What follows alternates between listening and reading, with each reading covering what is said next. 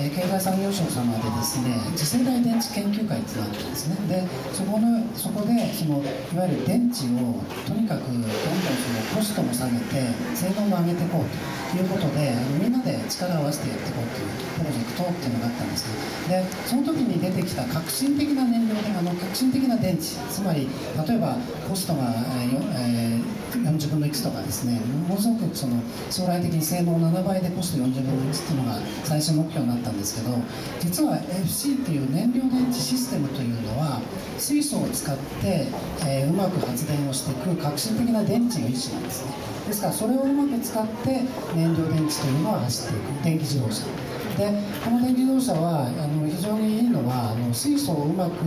えー活用することによって食べて運んでそれでうまく使える時に使うということで、えーまあ多分究極の形だろうと。でただし非常に難しいんですねそれでただ難しいことを自動車会社がやっておけば、えーそこの中にそのハイブリッドの技術もあるし電電気自動車の技術もあるしでうまいこと高圧ガスの技術もあるのでそうするとその全ての集合体を1回やっておけばその後の展開が非常に楽になってくるということであのかなり前からホンダはあの燃料電池1本に絞って頑張ってきたんですね。ですからこれから多分あの電気自動車もあのやらなければいけないし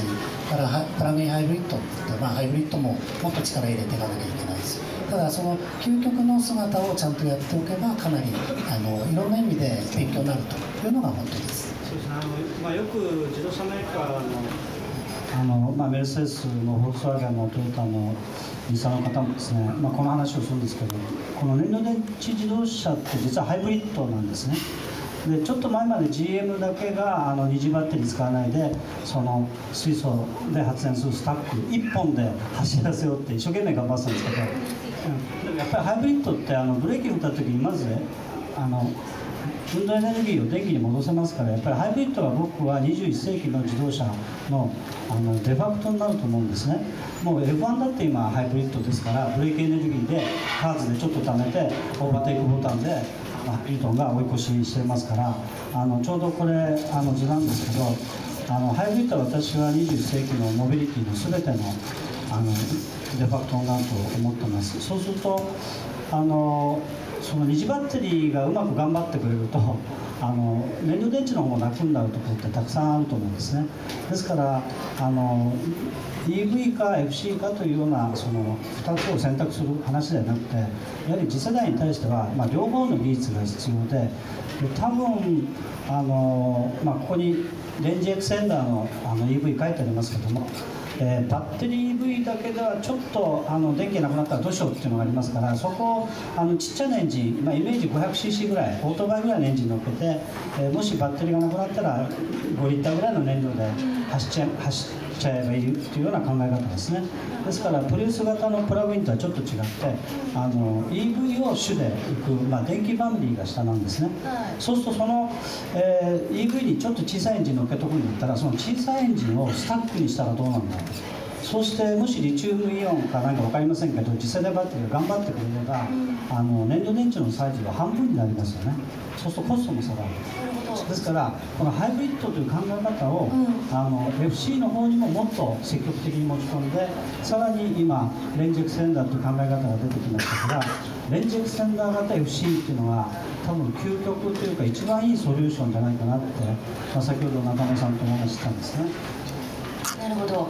ちょっと難しいですか？うん大丈夫です大丈夫ですとおっしゃる通りでですね、あの多分これから技術が上がってきて、あの蓄電池の技術がどんどん上がってくると思うんですね。で、あのそれは非常に好ましいことで、えー蓄電池のいいものができればですね、それを使って今度 FC がどうデザインすればいいか。でそうするとおっしゃるように FC がそんなに頑張らなくてもいい。で、あの究極はですね、今あのホンダはよく言ってるのは、あのエコな車を作るためにやってるわけじゃなくて、うん。本当に今のガスあの今のガソリン車をはい。どうやって次元の違う面白い車を作って、あー。もう一回その車って面白いぞって言わせるために頑張ってるんですね。ですからあの、まあ、今度のクラリティあのどっかで乗っていただけば分かりますけども、あの今のガソリン車よりすごく面白いです。いわゆる低中速で結構トルクがあってで音が静かでその割には一気にスピードが上がったりですね。あの一つ次元の違う車が提案できるポテンシャルを持ってます。でそういうポテンシャルを示していかないと今までのガソリンエンジンのあの範囲の中でいくらそのハイブリッドにしたりしてもそれはあまり面白くない。でもっとあの次の世代のね新しい車を提案してでそれが実は結果としては、えー脱炭素あ低炭素ですね。それから、えーもう一個はあの、ね、あのいわゆる代替エネルギーの問題。そこにこう訴求ができてで最終的には人類のセキュリティに結びつくというのが大事だと思います。なるほど。あの渡辺さんちょっと先ほどのあのエコマップの方をちょっと戻していただけますか？ちょっと田島先生にお伺いしたいんですけどあの、まあ、バイオマスのあのテッド合算でご専門って聞いてますけど、まあ、この、えー全体のあの、えー図は実は GM さんからお借りしてきたんですけども、まあ、こちら側に一次エネルギーこちら側に車に搭載するエネルギーで、まあ、右側が、まあ、通常のエンジン、まあ、プリウス型ハイブリッド例えばですね。でプラグインで、えーピュアバッテリーかまあ電気自動車があってこれがレンジエクセルなんでこれが燃料電池なんですけどもあの例えば水素に行く道がですねあの電気も水素も一次エネルギーではないのでこっち側の一次エネルギーとりあえず化石燃料があってバイオマスがあって、まあ、今あの中国などで余ってる石炭天然ガス、まあこれも有力だと言ってますし、まあ、日本、フランス、アメリカあたりはこの原子力も非常に有力で、えーまあ、あとドイツが進めてる太陽光発電、こう自然エネルギー系統を含めて全体の一次エネルギーの中でどういうふうに水素を作っていくかあるいは水素を作るよりもものによっては電気にした方が早い場合もありますよね。でこの辺のなんか関係がちょっと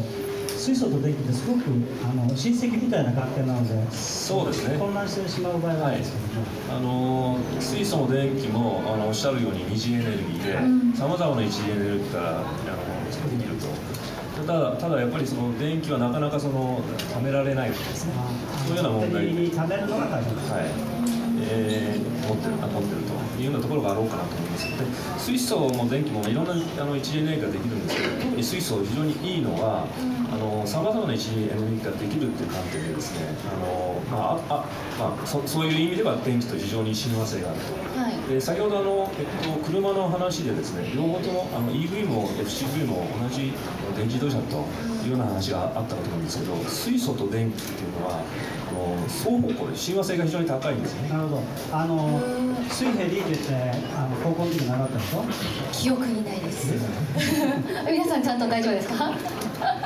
いやそろそろこう笑いを入れないといけないかなと。あの150光年前に最初に宇宙ができた時に、まあ、水素原子からできたというふうに聞いてるんだけど、まあ、とにかく真ん中に陽子があって電子1個という非常にシンプルな原子ですよね、はい。その電子がいわゆる電流電気になりますから、水素は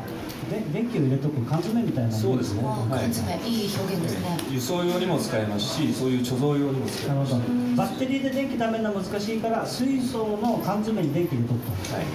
それが FCV の考え方です。そうか缶詰に入れるから持ちはる 持ち運びもできると、あとその親和性が高いと言ってたのは、水素からあのそういう意味で燃料電池で電気もできると、あとは電気からあの逆反応で水素がまたできると、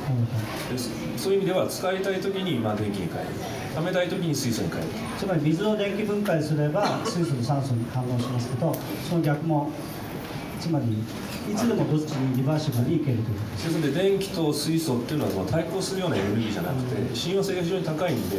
将来的には両方とも成立する。そういえばあのカナダに私バンクーバーにカナダのバラード本社に行ったことあるんですけどもともとカナダの会社カナダの国からの資金をもらって潜水艦の二次電池のバッテリーを研究してたら水素燃料電池に突き当たったっていうようなことを言ってましたね。へえそうなんですね、はい。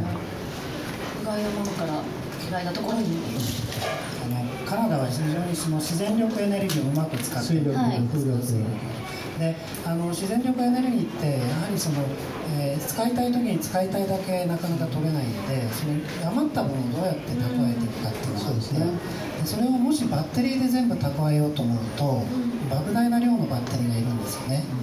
からそれを例えば水素に置いといてで使いたい時に使うとかそういうことをこう、まあ、今あの田島さんおっしゃったように水素と電気をうまく使い分けていけば非常に効率よくできるんだと